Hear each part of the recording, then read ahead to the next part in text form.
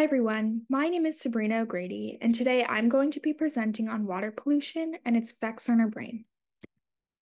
A little bit about me I'm a rising junior at Dominican Academy in New York City.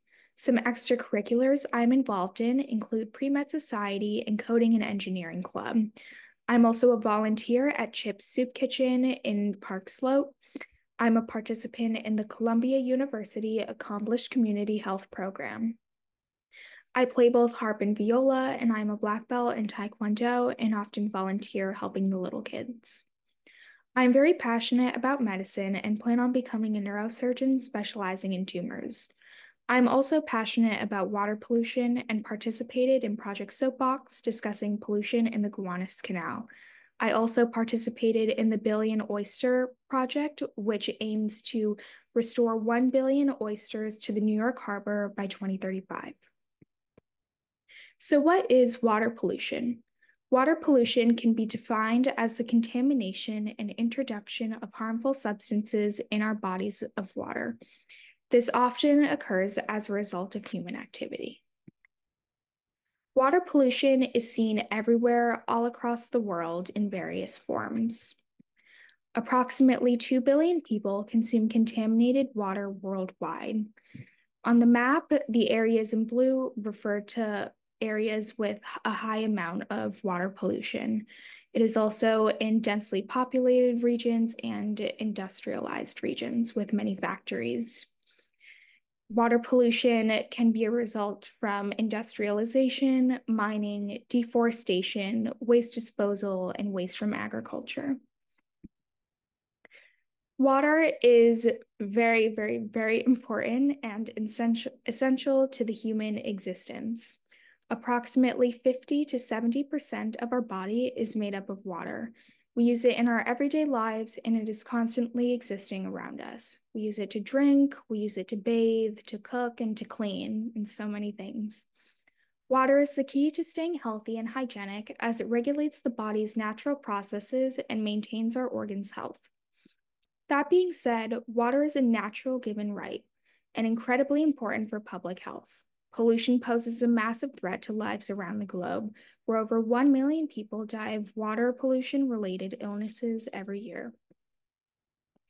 These are just a few water contaminants, and I'll be explaining each of them and how they affect our brain. So, arsenic studies show that it can cause brain damage as well as cancer, such as lung cancer and bladder cancer. Lead can lead to behavioral and developmental defects in children, as well as heart disease and kidney disease. Aluminum is found in water in very, very, very low amounts, but when it is greater than 0.1 milligrams per liter, it can lead to dementia and Alzheimer's disease, neurological disorders, or kidney disease. And pesticides can lead to neurodegenerative diseases, especially Parkinson's disease, and coma or death. For this presentation, I will be focusing on pesticides and what they can do to our body. So, pesticides control harmful plants and animals in agriculture. And although it is beneficial for the crops and gets rid of pests such as mice, rats, mosquitoes, or ticks, it can be very harmful to humans when ingested. Approximately 385 million people suffer from pesticide poisoning every year. It can get into and contaminate water sources, usually by water runoff or natural disasters such as floods. Once it is ingested, it can cause irreversible brain damage and loss of brain activity. Pesticides can also cause Parkinson's disease. Parkinson's disease is a neurodegenerative disorder in the central nervous system that affects movement, posture, and causes tremors. Parkinson's disease is also linked to depression, hallucination, and loss of sense of smell. This is caused by a loss of neurons in the substantia nigra, such as dopamine, which signals nerves to stimulate muscle movement.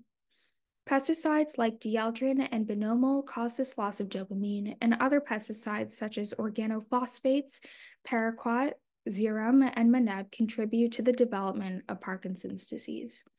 So the image on the right um, compares a healthy patient to a Parkinson's patient. We can see that there is a great amount of dopamine on the left image, and that is signaling the muscle cells to cause movement in our hands. But a person with Parkinson's disease, on the other hand, there isn't as much dopamine. And so it can't signal the muscle cells to cause movement and causes hand tremors. So, what can we do about this issue that is affecting everyone around the world in so many different ways? One, we can replace harmful chemicals like pesticides with non toxic ones and remove pesticides in a safe manner. Two, we can advocate and speak out about water pollution in our community.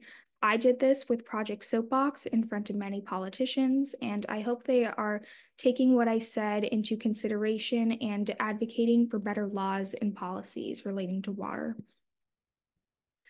We can reduce, reuse, and recycle. I know you've heard this these terms so many times, but they are important.